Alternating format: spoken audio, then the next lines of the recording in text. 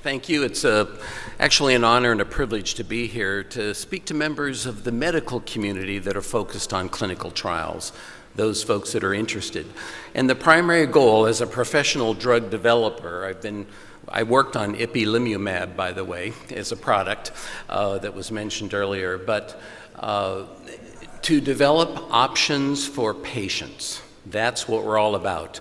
And if you develop a drug, and this is the one I'm working on right now, it's in this little bottle, that actually improves the life or the prospects or the chances or the statistics to uh, help a patient in any type of disease indication, it is so gratifying. So, anyway, today we're here to talk about NuvOx Pharma. This is the actual product we're using in clinical trials right now. We make it in Tucson, Arizona. Through a simple intravenous administration, you can increase the oxygen carrying capacity of blood. Now, why is that a good thing?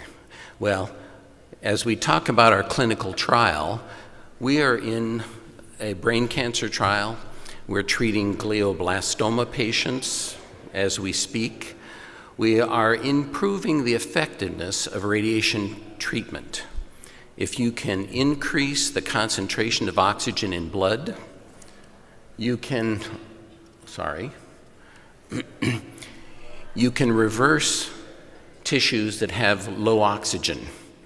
Thereby, in radiation treatment, one aspect of treating patients' uh, solid tumors with radiation therapy is to increase the concentration of oxygen and split it into oxygen free radicals.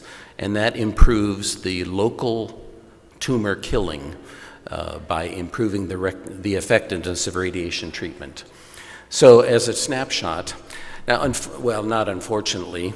Uh, NuvOx elected to do their clinical trial. We're in phase 1B. And, and I, I view clinical trials as more of a metamorphosis of drug development. It's a transitional process. It's, it, you collect data and inform yourself, inform your decision making process along the way. So it's really difficult uh, to segment uh, the development process, but uh, we've elected to call this a phase 1B. We are treating cancer patients. It is a primarily, uh, the primary endpoint is safety. Uh, we're also collecting pharmacokinetic data, uh, physiological data on patients, and our product is an adjunct to the standard of care to improve the effectiveness of radiation. Uh, we went to Australia because the Australian government actually gives us a 45% refund on every dollar we spend in research and development in Australia. So uh, I would have loved to have done this in Arizona or the United States. However, the Australian government was much more accommodating uh, to help cover the economic uh, costs of developing a drug. And I can speak more to that.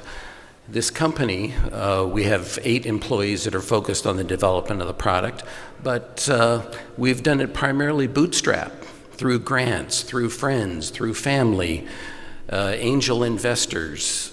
Uh, we, uh, we have two grants pending right now. Uh, we have an actually active grant right now. We're collaborating with Barrow Neurological Institute and glioblastoma. So um, and, and, then we, we did have to sell stock. I know that's sort of the dirty side of business, but uh, we had to uh, fund the company, we had to create equity and value for shareholders, and uh, get to a commercial stage as soon as possible.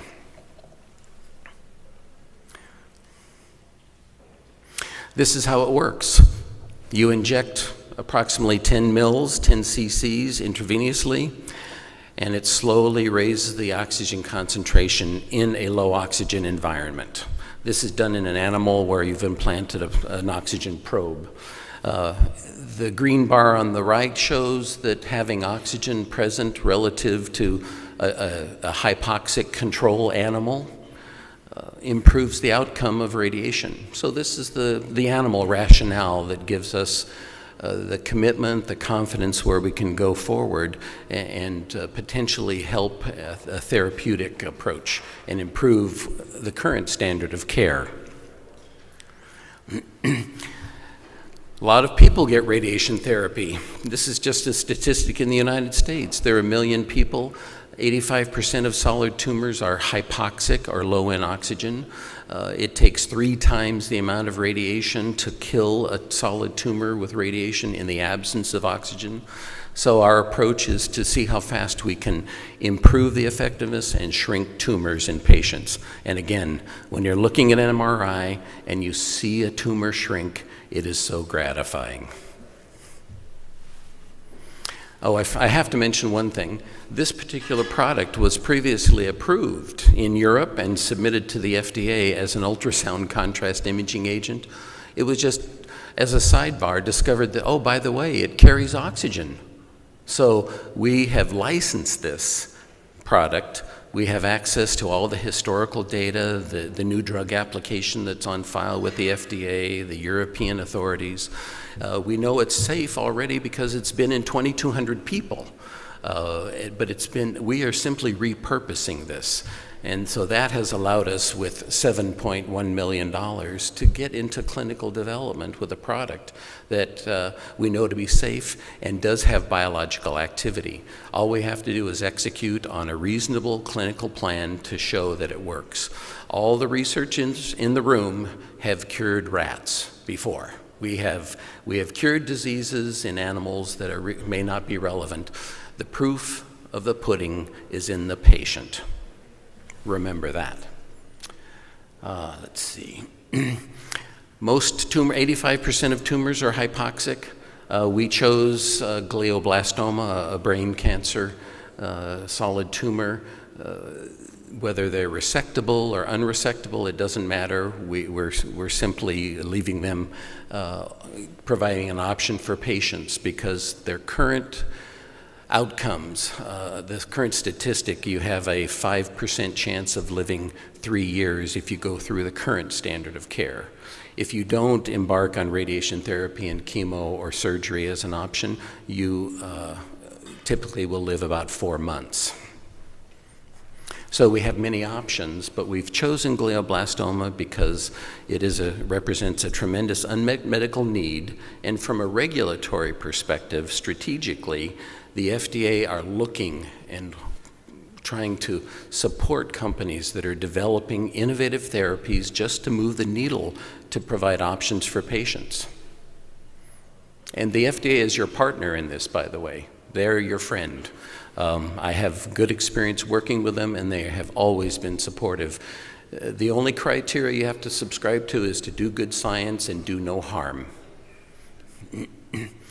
Here's, a, here's a, a, scan from a patient. So the patient on, on uh, your left uh, is post-resected, and the red arrow points to the tumor, and those that measure tumors sizes for a living uh, tell us that uh, four weeks after completing the course of therapy, uh, the tumor has shrunk by 80%.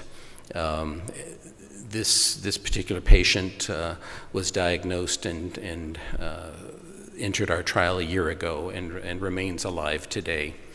But again, the primary endpoint for a phase 1B is safety, and we're looking at pharmacokinetics or, or the physiological uh, treatments of your drug in the body. How long does it last? What's the half-life? What are the local toxicities? How much uh, shows up in certain body parts?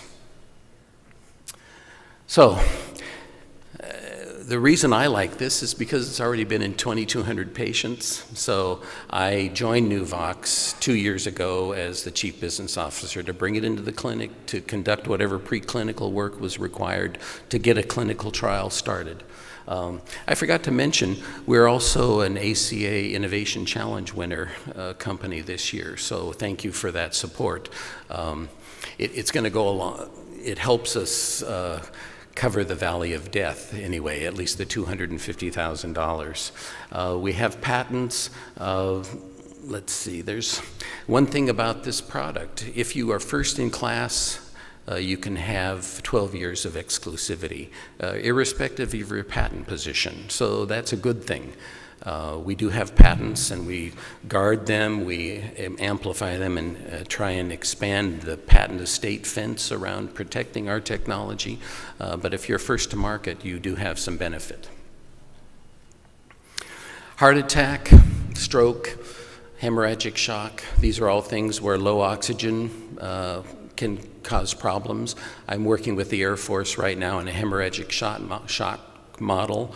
They're doing it in pigs. Uh, they will take our clinical trial data uh, when we file an IND in this country uh, and then conduct clinical trials uh, to to see if they can mitigate the, uh, the field trauma of hemorrhagic shock and buy time for our soldiers in the field. Sickle cell, we have demonstrated efficacy in heart attack, reduce heart damage by 80% as well, if you give this within 90 minutes of having a heart attack. And it extends the window of the current form of therapy called TPA uh, to nine hours from uh, its current three hour endpoint. Uh, we collaborate in Arizona, BNI, University of Arizona. Our trial is at Monash. We, track, we work with the NCI uh, Radiation uh, Treatment Oncology Group, uh, University of Arkansas, the Navy, the Air Force, uh, all with eight people, all in Tucson, all in Arizona. So that's really my time. Um, thank you for this opportunity. We are passionate about what we do, and uh, thank you for coming.